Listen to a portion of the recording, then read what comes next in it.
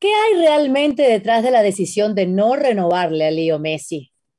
¿Cuánto ha metido la mano Florentino Pérez? Todo esto lo vamos a aclarar a continuación con Alex Pareja, Pilar Pérez y Toño Rodríguez. Porque Jaume Lloris, miembro de la comisión ASPA y Barça, dimitió inmediatamente después de la salida de Messi del Fútbol Club Barcelona y cargó directamente contra Joan Laporta y su equipo de haber propiciado la marcha del la leyenda azulgrana. Alex, ¿estos son patadas de ahogado o realmente tiene un punto este socio del Fútbol Club Barcelona? ¿Qué tal amigos? ¿Cómo estáis? Claro, Jaume Llopis tiene razón, eh, porque además el propio Joan Laporta en esa rueda de prensa que dio la semana pasada ya asumió que esa era una decisión que había tomado él como, como presidente. Lo que es, lo que tiene mucho más eh, chicha es lo que explica Jaume Llopis en esta entrevista que le hizo a los compañeros que hicieron, los compañeros de la cadena SER en España, en Barcelona, eh, y ahí es donde explica las tensiones, la verdadera intrahistoria, ¿no? Cómo pues, nosotros decíamos, ¿cómo puede haber cambiado tanto el cuento en 48 horas? Bueno, pues lo que explica Llopis corrobora lo que hemos venido contando en ESPN eh, prácticamente desde el momento en el que se conoce la, salida de, Leo Messi. El tema es que eh, hay una hay dos temas principales que influyen en esta decisión o en esta marcha atrás que hace Joan Laporta. El primero es, obviamente, la injerencia del Real Madrid eh, y, de, y, la negativa de Florentino Pérez a aceptar este préstamo del Fondo de Inversión estadounidense CBC. Eh, y, eso afecta también al Barcelona porque sigue siendo socio del Real Madrid en esa Superliga. Es decir, por un lado está esa voluntad del Barcelona de no renunciar a la Superliga, pero por el otro las tensiones que había internas en la directiva azulgrana porque había gente eh, que ha avalado con su patrimonio, y eso es lo más importante de todo, eh, la, llegada de Joan Laporta en esta segunda etapa como presidente del Barça y no quiere jugar, no quiere arriesgarse con ese dinero. Había mucha gente, entre ellos el CEO del, Barcelona, Ferran Rabarté, que no veían claro que eh, la operación fuera viable, incluso agarrando el dinero de, Javier Tebas. Entonces, por una cosa, eh, la porta no pudo ser la porta porque la porta no tiene margen de acción eh, en, esta segunda, en esta segunda etapa. Si hubiera sido por Joan Laporta, lo hubiera renovado a Leo Messi y, después ya se hubiera encargado de intentar acomodar un poquito la, la economía. Pero ¿qué pasa? Que la porta es rehén ahora de la gente que le prestó el dinero para presentar el aval para ser presidente del, del Barça. Acordaos lo que le costó, que estuvo prácticamente, hizo un buzzer entró sobre la hora esos avales del Barça. Entonces aquí tenéis la explicación. Por un lado, la Superliga y esa famosa reunión Florentino, Agnelli y Laporta el sábado por la noche, mientras todo el barcelonismo estaba llorando a Leo Messi. Y por el otro lado, la gente que puso el dinero para que se pudiera efectuar el aval de Joan Laporta como presidente, que presionó a, la porta para que se repensara esta operación que sí, que permitía que Messi se quedara dos años más en el Barça, pero que tenía un coste económico que todavía hacía más grande el cráter económico que ha dejado la directiva de José María Bartomeu.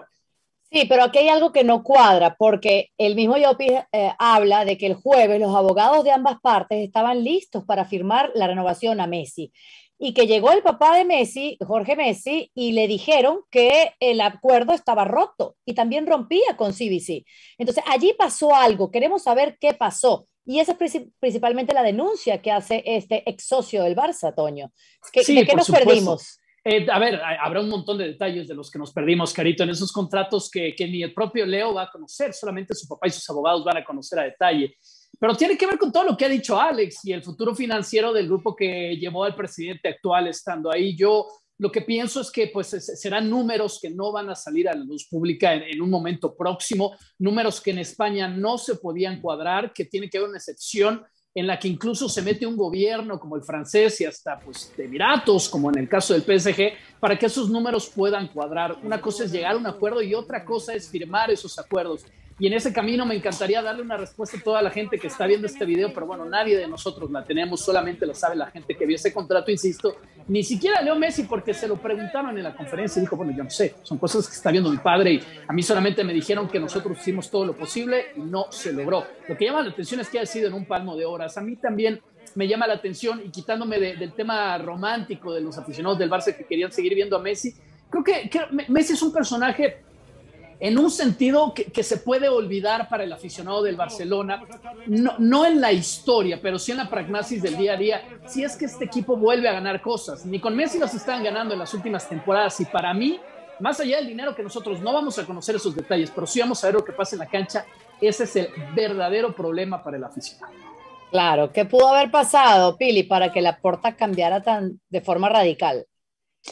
Pues además de todo lo que ha hecho Alex y por supuesto Toño, que la premura del tiempo del Barcelona tampoco le dio margen de movimiento. Cuando estás tan cerca a que se acabe el mercado para inscribir a tu figura máxima, cuando tienes la presión de la liga decirte, mira, lo que tú necesitas es eh, pues ayudarte en este tope salarial, yo te estoy trayendo una respuesta que es este fondo de CBC y del otro lado, sabes que tienes las manos agarradas porque por un lado tienes a Florentino y la Superliga que involucran muchísimos millones y del otro lado tienes a esta gente que te volvió a traer al mando de tu club, pues creo que la puerta se quedó prácticamente siendo el títere jalado por todos lados y cuando tú no tienes el as bajo la manga o las riendas en la mano, pues te quedas así, ¿no? Yo creo que él se sentía muy seguro de lo que había planeado y nunca pensó en las consecuencias de que podía pasar algo así.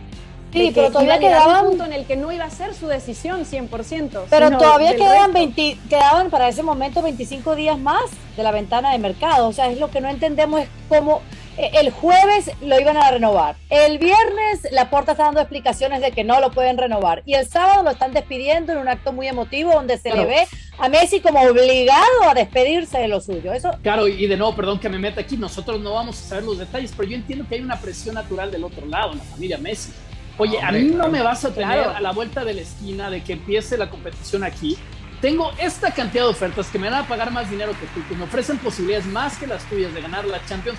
Y a mí no me vas a tener tres semanas más esperando a ver si me vas a dar un contrato. Ponme las perlas de la Virgen ahora, porque es lo que me merezco. Exacto. Y si no, chao. Claro, ahora, ahora, Alex, Alex, ¿quién es Ferran Reverter, el nuevo CEO? Bueno, pues es el, es el director ejecutivo del, del Barcelona, que ese es el cargo y que está ligado a uno de los fondos de, a una de las empresas que facilitó el dinero para que Joan Laporta eh, pueda ser eh, presidente. Entonces, y ha sido el que ha mantenido más reuniones, más contactos estrechos, eh, tanto con Javier Tebas, aunque esto lo llevaban más Tebas y Laporta, como con Florentino Pérez con el caso de, la, de la, Superliga. Yo, para Dicen que es muy amigo de Florentino Pérez. Yo creo que mi primera pregunta fue lo de que eh, cuánto tiene que ver la intervención de Florentino en la marcha de Messi, ¿no? Eh, tiene, tiene, que ver muchísimo, por eso, pues porque el, Barcelona no se quiere desligar del proyecto de la Superliga. Vete a saber qué tipo de contratos eh, privados han firmado, porque acordaos también de la salida, de la despedida de Josep María Bartomeu de, su rueda de prensa cuando dimite del Fútbol Club Barcelona. ¿Os acordáis que dijo, y aquí dejo el proyecto de la Superliga, que es vital para la Superliga? Vete a saber qué tipo de acuerdos, y Florentino Pérez cuando se dio cuenta de que el Barcelona estaba a esto de, de, firmar o de caer en los brazos de Tebas, otra vez, llamadita de, teléfono, oye, Farran, ¿esto qué es? Acuérdate de todo lo que tenemos eh, pactado por detrás y por eso a, la porta pues, le hacen hacer marcha atrás. Yo, respecto a lo que decía Toño, ¿por qué cambia todo en, 48 horas? Eh, la porta, yo estoy convencido de que ese tuit de, despedida de Leo Messi, el anuncio de que Leo Messi no sigue en el club, era el último órdago de la porta a Tebas. La porta estaba intentando convertirse en el Abraham de la Biblia. Es decir, eh, le pone a su hijo ahí a sacrificio y estaba esperando que Tebas en un último momento de... Arrepintiera. Le dijera, no, no, por favor, ¿eh? y, le parara la Tuviera cordura. eh, mira qué buena ahí, Pili, esa, ¿eh? Pues ah.